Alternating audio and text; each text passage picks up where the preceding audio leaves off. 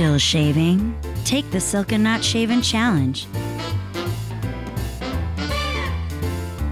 If you don't find Silk'n better than shaving, we'll refund your money and buy you razors for a year.